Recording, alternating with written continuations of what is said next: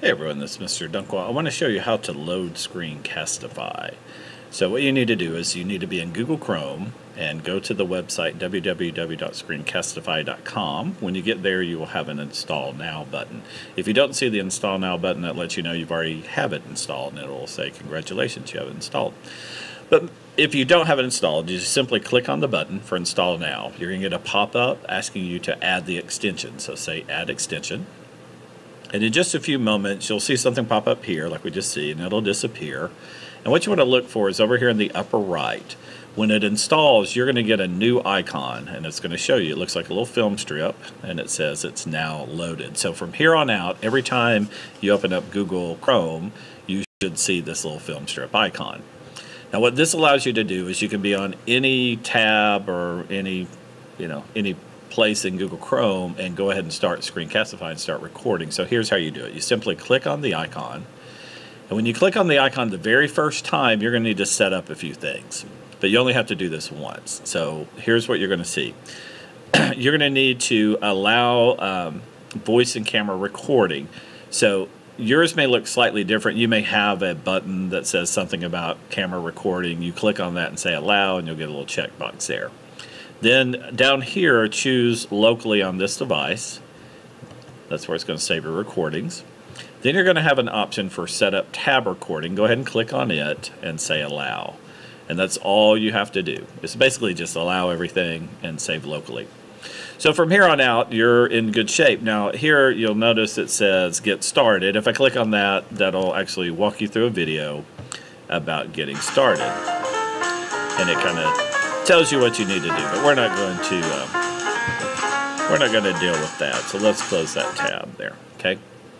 Now, from this point forward, any website you're on, it can even be a gaming site, any website that you're on, you can record. So let's go here to CNN.com, just a news site. And so in order to record, what you do is you click on your film strip icon and it's going to bring up a menu with a few options here. And so one of the options is to do a tab recording. If you do a tab recording, that's going to that's going to allow you to record whatever's in the tab you have open. So for instance, I could record anything I'm doing here on the CNN.com tab, but if I go to another tab, it's not going to record. If you go to desktop recording, that's going to allow you to record anything that's on your desktop. So for instance, I could start recording here and then minimize it, open up another program or do whatever, and it's going to record it all. You want to make sure that your microphone, that when you're talking, like you see here, notice how it goes from green to red, and basically it's picking up the sound of my voice, and you want to make sure that's happening. If you're not seeing anything here uh, in the voice monitor, what you need to do is follow these steps. So let me show you how to troubleshoot it just quickly. Come down here to the bottom of your screen. First off, make sure that your speaker is turned up. So you want your speaker itself turned up. But then we're going to come back down, oops, clicked on the calendar there. Come back to the um, speaker and right click, and you're going to choose recording devices. And when you choose recording devices, you're going to get a pop-up window. And you want to look for the one that says microphone array. Now you can see mine's working. As I talk, these little bars move. But yours, if it's not working, it'll just be kind of grayed out here. So what you're going to do is right click on microphone array and choose properties. Or you can just double click on it. So click, click, either way. That's going to take you to the properties for the microphone array. Then you need to go to the tab that says levels. And more than likely, if you're not seeing anything, one of two things is happening.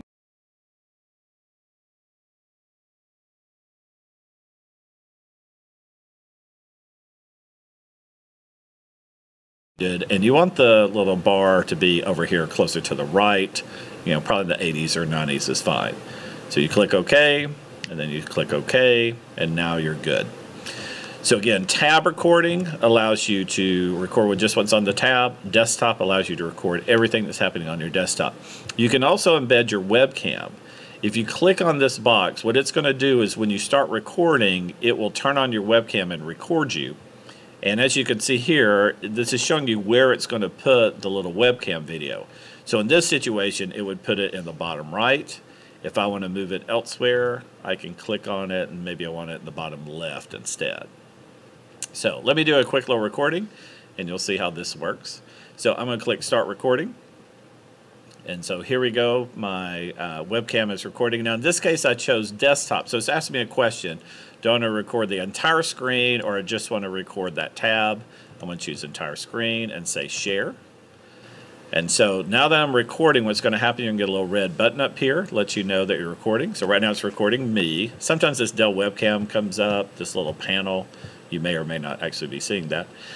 but basically, you know, it's recording. So the little light on your um, webcam will turn on. So remember, look at your camera, you know, if you can. And basically just do whatever it is you need to do. And when you're done, come up here, click the stop button, or click the little red button to stop and when you click it and you hit stop, what it's going to do is going to take you to a preview window. And when that preview window so comes now out, that I'm recording, what's going to happen? Going to get a little red button up here. okay. So now in the preview, it's playing back what I recorded. Uh, if you don't like it, you can delete it. If you have a YouTube channel, you can come over here to YouTube and actually just share it to your YouTube channel. Or you can download it, save to disk. And so uh, when you do this, you just simply click on Save to Disk and then choose Save to Disk. And it's going to save it to your Downloads folder. So one way, whenever this happens and you save something from the browser, just click on this little pull-down menu right here and you can do Show in Folder and it will show you exactly what folder it's in. In this case, it's in my Downloads folder. And here it is down here, Untitled Screencast WebM. Now, one thing to point out about this is I can't take this video and bring it straight into PowerPoint. There's an extra step for that, so I'll show you how to do that in our next video. So if you have any questions, as always, just feel free to uh, ask, but watch out for the other videos because I have some tutorials in here to help you. And don't forget the power of Google and YouTube when you have questions. Thank you very much.